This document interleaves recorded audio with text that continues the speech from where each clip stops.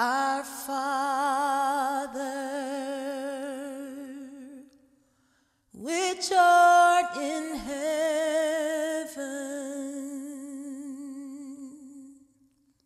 hallowed be thy name. Thy kingdom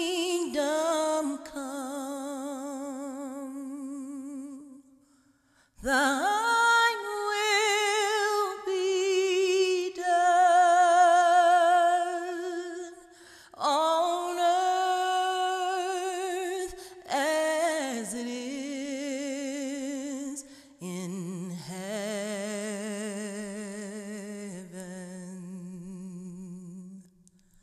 Give us this day our daily bread and forgive us our debts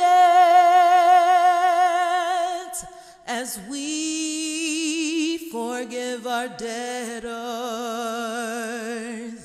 And lead us not into temptation, but deliver us from evil.